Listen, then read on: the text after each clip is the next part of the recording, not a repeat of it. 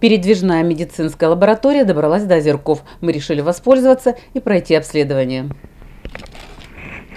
Мы будем брать кровь на сахар.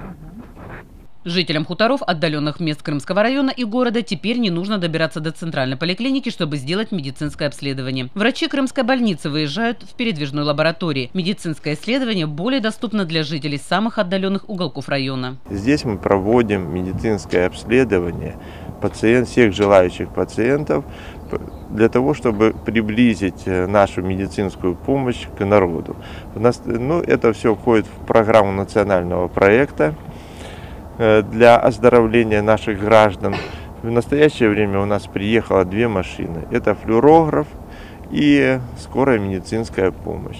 В День здоровья, кроме флюорографических обследований, электрокардиограммы крымчан в озерках принимал терапевт, окулист и кардиолог. Нам говорят, а вы знаете, завтра будет вот так, вот так. Это просто, это просто э, супер, это счастье, что вот, вот так вот. Каких врачей вы обошли?